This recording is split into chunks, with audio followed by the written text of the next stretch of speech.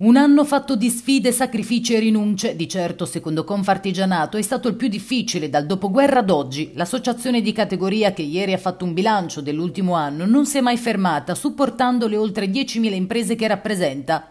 12 mesi in prima linea, ha commentato il presidente Graziano Sabatini, che ha illustrato i dati e le necessità. Per la produzione, ha detto, abbiamo stimato un meno 10,6% del PIL nella nostra regione e il numero che ci preoccupa di più è quello delle imprese. Eh, noi abbiamo, stiamo stimando un meno 700 imprese per quanto riguarda fine anno sulla nostra regione e saranno meno 250 imprese all'incirca nella provincia di Ancona e meno 150 nella provincia di Pesaro. Ecco, questo è il dato più negativo che abbiamo insomma, da dieci anni a questa parte e su questo dato dobbiamo veramente riflettere anche su quelli che saranno i numeri per l'occupazione.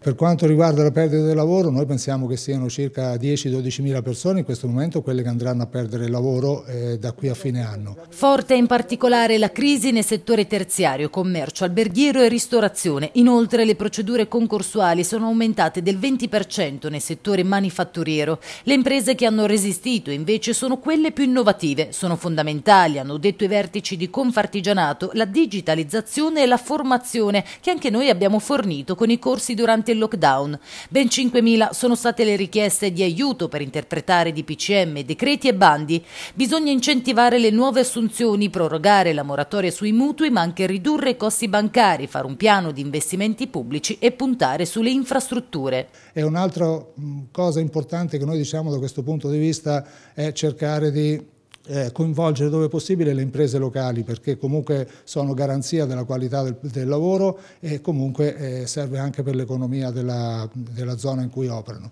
Ci preoccupa molto l'azione delle multi-utility che stanno creando un eh, sistema di eh, concorrenza sleale, possiamo dire, a impiantisti comunque artigiani della zona. Anche queste imprese una grande capacità di adattamento che in un momento di turbolenza dei mercati, in un momento di grande cambiamento e di cambiamenti repentini come quelli che stiamo eh, vivendo adesso, invece hanno sicuramente dei motivi di competizione che sono, secondo me e secondo noi, da incentivare, da proteggere, da tutelare perché potrebbero essere veramente un punto di forza. È importante, secondo noi è importante sicuramente vaccinarsi, è importante insomma eh, questo messaggio di speranza, un messaggio positivo che possa arrivare da questa eh, appunto tecnica del vaccino perché eh, riteniamo che in questo modo insomma potremo tornare veramente a progettare il futuro.